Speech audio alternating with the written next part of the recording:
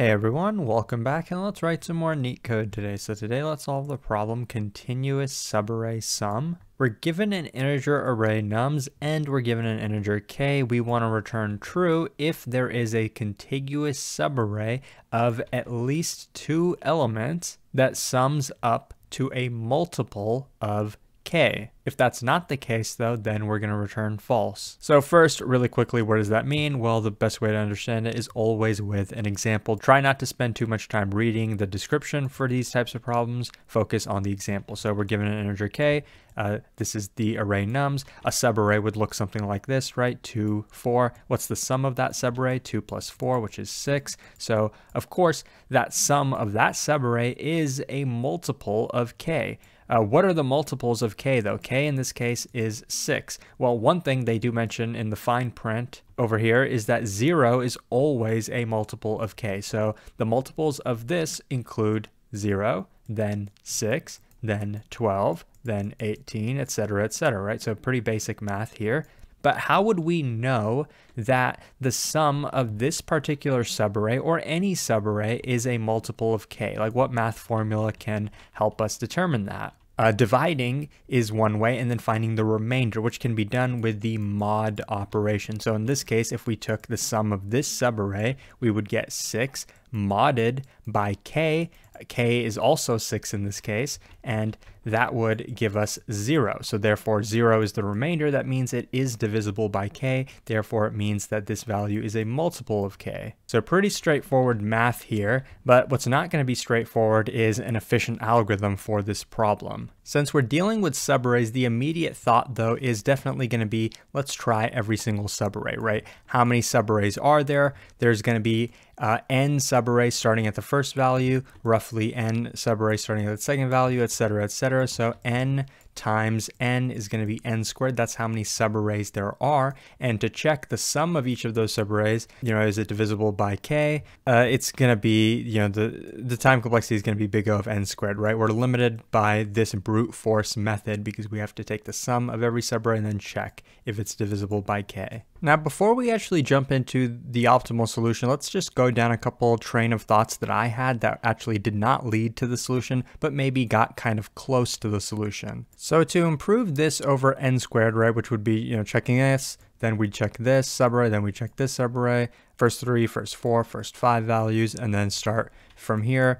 Uh, you know, one way to optimize these types of problems, a, common way is usually sliding window. But in this case, a sliding window, you know, it's hard to figure out how that would work to make this more efficient, right? We, as we increase this, uh, you know, we want to check this subarray, right? Is this uh, divisible by k? First of all, it's only one element, but let's just check it anyway. 23 uh, modded by 6 is going to be 5. So it's not divisible by k. So we want to, you know, let's say add more elements to it. So now we would consider this subarray, right? That's not going to be the solution either. So at that point, you know, what's the criteria to figure out whether, you know, we increase the window from the right side or maybe we decrease the window from the left side, right? What exactly would be that criteria? It's hard to figure out because in this case, it doesn't really work. Well, consider this subarray. We know that this is not the solution, right? We need this to be divisible by k. How could we do that? Well, you know, we don't really know. It could be possible that adding an element to the right would then make the subarray divisible by k, or it could be possible that removing an element from the left could make the subarray divisible by k, or maybe a little bit of both. We remove this and then add this value. In this case, that's exactly what we need to do. But how would we ever know that we need to do that without trying every single possibility, without doing basically the brute force solution, which is still n squared? So we do need to find something a little bit better. Another idea I had was consider this uh, subarray, right? It's 25. Mod that by k, which is 6, uh, then we get a remainder of 1. Okay, so we know that we're we don't exactly have the remainder, but we know that the remainder is 6. We have a remainder of 1. Therefore, if we got another subarray, that's it would have to be contiguous, right? So this is our current subarray. We need a subarray starting at this element. something like this, or maybe this, or this, right? It needs to start here. If we could find a subarray like this one that had a remainder of five, then if we add this subarray with this one, then both of them combined must have a remainder of six. That's an idea I had, right? So we can have maybe a hash map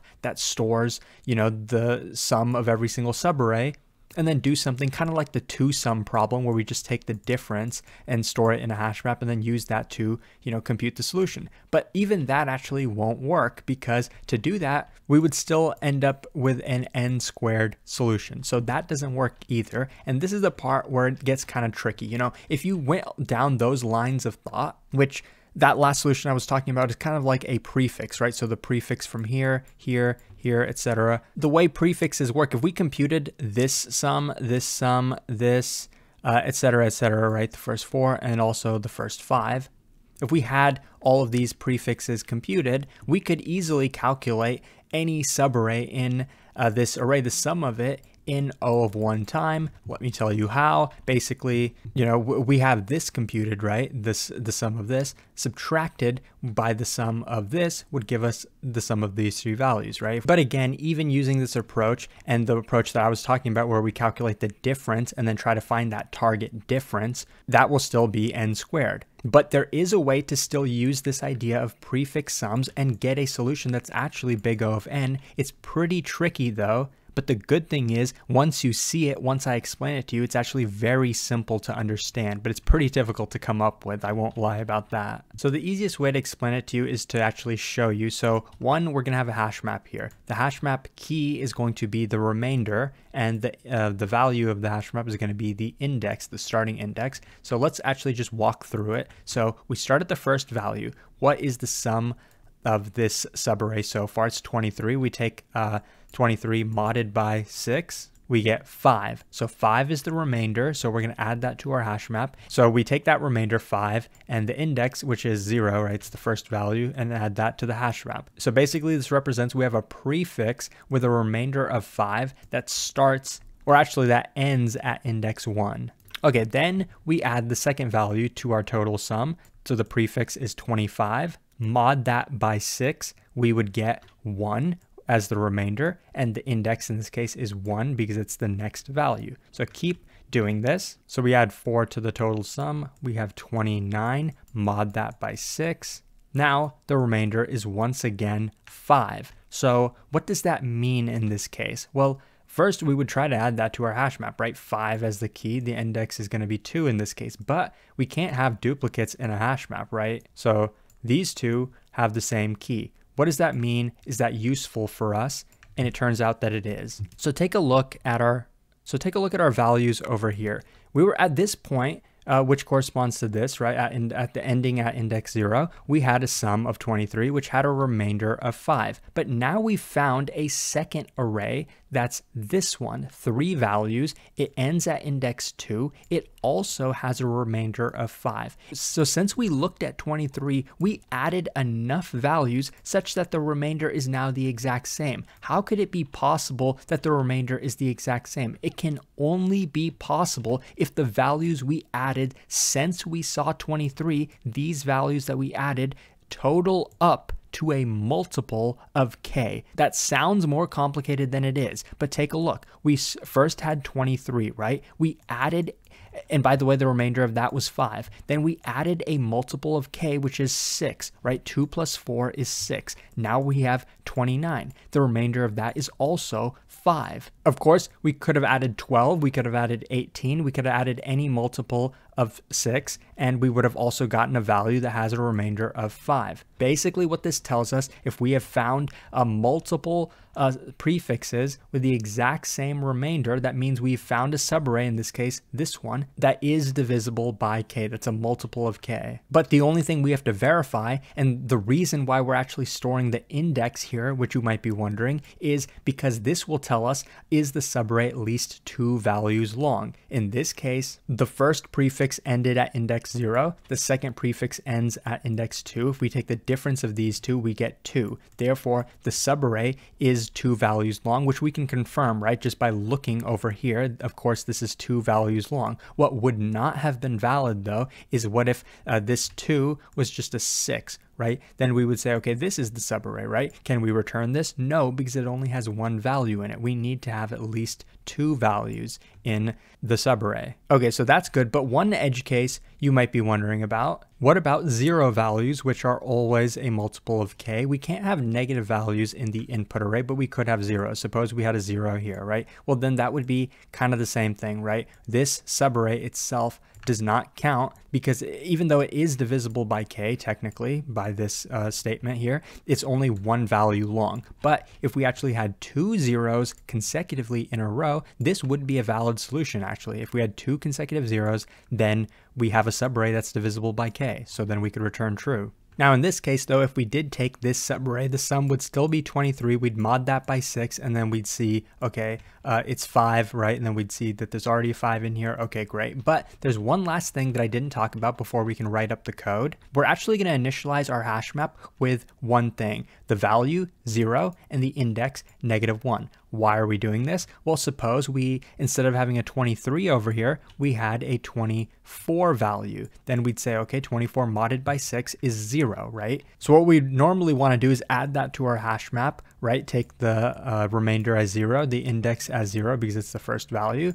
But before we'd even do that, we would check, well, that already exists in our hash map, right? Basically, by doing this, we implied that there's a subarray over here of length 1 that is basically a value of zero, right? At index negative one. But the key point here is that we don't want to return true yet because remember this subarray only has one value in it. By adding this entry into our hash map, we will ensure that we don't return true if the first value is a multiple of k. Because what we're gonna see now is that, okay, the index of the entry that we wanna add right now is zero and the uh, previous entry that had the same remainder is negative one. Therefore, this, the the length of this subarray is only one, it's not two, so we can't return true yet. So that's kind of how we handle uh, that edge case here, but there's probably multiple ways to handle. it. I think this is just probably the most elegant way to do that. I hope this makes sense, but now let's code it up. By the way, time complexity yes is big O of n because we're just computing the prefixes, though we are using a hash map, so the memory complexity is also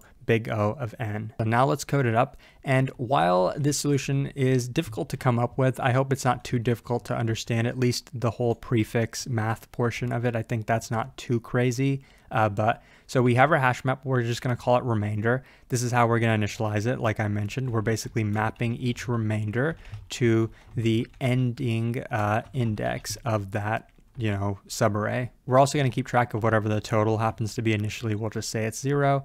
We're going to iterate through uh, nums, but we want to actually enumerate it, which is kind of just a shorthand way of getting the index and the value at the same time. Uh, because we are going to need that index if we add it to the hash map. So we want to add that value to our total. Our total is basically our prefix so far. We want to calculate the remainder next. So we can take the total, mod it by a k, which is our input parameter, and we'll get that remainder. So there's two cases now. Is our remainder already in the hash map or is it not in the hash map? And by the way, remember we initialized our hash map with a zero. So if we found a, a subarray, that has a remainder of zero, we've basically found the solution as long as the length of it is greater than one. But let's start with if r is not in remainder. And the else case, uh, the reason I'm putting the opposite in the else case is because if it's if it is in the remainder, we also want to check a second thing. We want to check else if uh, the current index minus remainder of r index right? Because this is also an index, remember, that's in our hash map. So if the length uh, of this subarray is greater than one, that's why we're putting this in the else case because we want to evaluate that this is not true and that this also is true. So first though, if it's not in the remainder, that's the simple case because this, that means it's the first time we're seeing it and it's also not a zero. So we can say remainder with key value r is going to be equal, is ending at this index i. Else case is basically else if this, that means we basically found the solution. That means we found a subarray that is divisible by k and the length of it is greater than 1. So we don't actually have to return that subarray, we can just return true, meaning we found a solution. It's really as simple as that. Uh, once the loop exits though, that means we didn't find a solution. So in that case, we will have to return false. Okay, so now let's run the code to make sure that it works. And as you can see on the left, yes, it does. And it's very efficient. So I really hope that this was helpful. If it was, please like and subscribe. It really supports the channel a lot. Consider checking out my Patreon where you can further support the channel. And hopefully I'll see you pretty soon. Thanks for watching.